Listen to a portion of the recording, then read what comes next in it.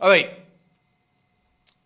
I told you about vaccines. We talked about this uh, a couple of days ago. We talked about vaccines. We talked about the fact that why don't, instead of doing, uh, you know, in a sense, 30,000 people in phase three clinical trials, why not use the entire, or as many people as they can vaccinate right now, as much supply as they have, get as many people vaccinated, go into production, start vaccinating everybody. Some of the vaccine was, will work, some of them won't. People have to sign up because there's risk involved. One of the risks uh, involved in this is that some vaccines will actually uh, make you uh, react more strongly, potentially more strongly. Bad vaccines can make you react more strongly to COVID. So, only give it to people who are willing to take the risk, who are willing to do it.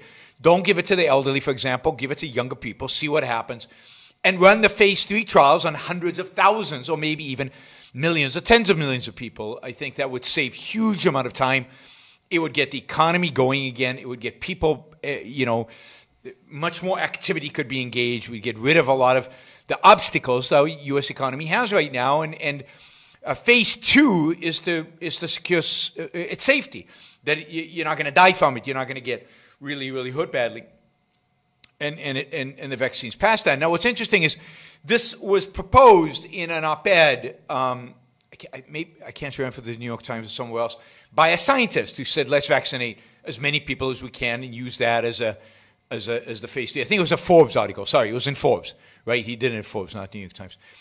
Basically, got a huge backlash, huge, massive backlash. People wrote to him, scientists, everybody wrote to him, and he today retracted his statement. He said, "No, I made a mistake. It's actually riskier, uh, and there's not enough production." And uh, basically, wimp.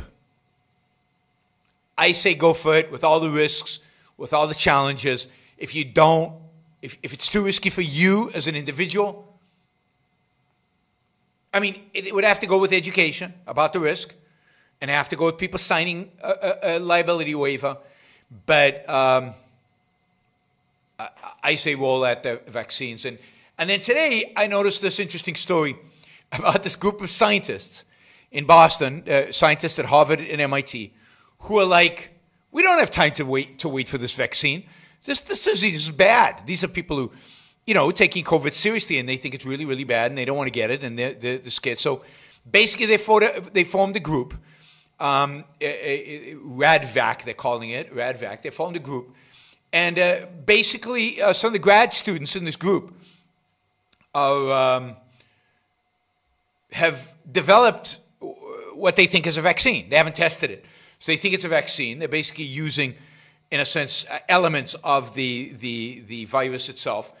And uh, it's a nasal spray. Uh, you know, right now in development, there are 199 different COVID vaccines, 199. Five of which are nasal sprays. Anyway, they, they have a nasal spray. It, there's a whole theory about this. I'm not going to get into the science of it. There's a whole theory of it. And um, they basically have a mailing list of like 70 people who've agreed to take this. And they're not charging anything. And this grad, these, I guess it's scientists, grad students, I think it's scientists, putting, uh, putting the vaccine together and mailing it to people. And then the person doesn't actually get the vaccine itself yet. They have to mix two substances, shake it, I guess, and then spray it into their nose. And, and, and they don't know how many of the 70 people have actually done it. And many of these are prominent scientists at MIT and Harvard. So these are big time names, uh, not trivial. And uh, the question is, is that legal? Is, is, and, and they don't know exactly, right? The idea is because they're doing it themselves, then it should be legal according to, according to the FDA. But because they're distributing it, maybe not. Now, my view is who the hell cares? If these guys want to create a vaccine, and if if somebody if they give it to their friends, I don't care who they give it to, they produce it, they get to decide who gets it, because there are all these ethical dilemmas. Well, but they they they they they're, they're privileged, quote that anti-concept, privileged, because they have uh, a talent, ability, and and a lab, and they can create this, and we can't. So we're we're at a disadvantage. Fine. So what? If you have an advantage, why not take it? They're not doing it at my expense. I'm not worse off because they're better off. and they're giving it to their friends and family. Great, good for them. Now, I don't know if it'll work, and there's risks involved, but these are all smart people.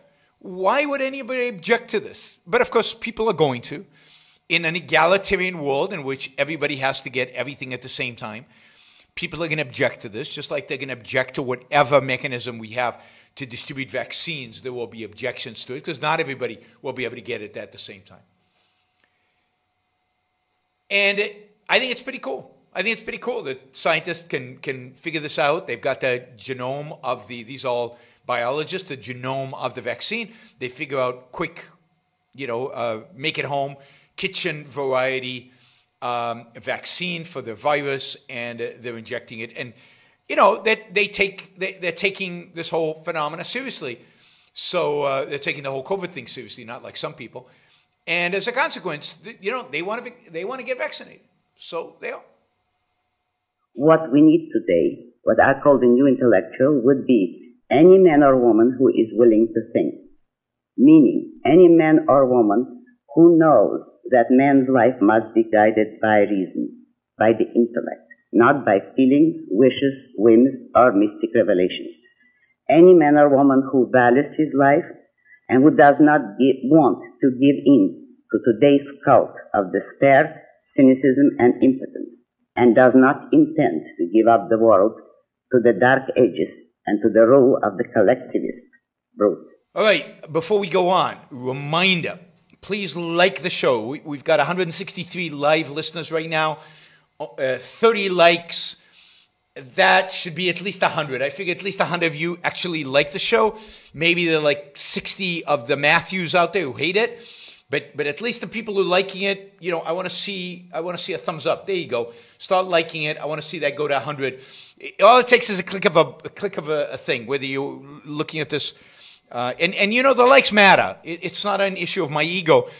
It's an issue of the algorithm. The more you like something, the more the algorithm likes it. So you know, and if you don't like the show, give it a thumbs down. Let's see your actual views being reflected in the likes.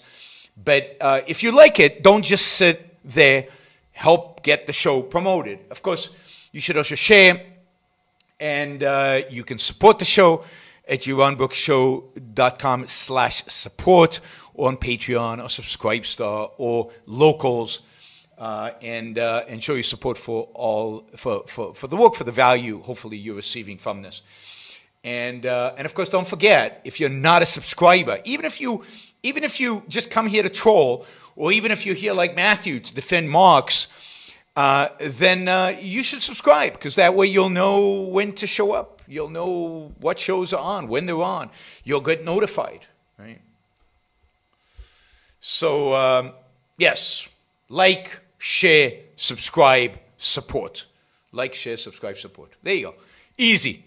Do one or all of those, please.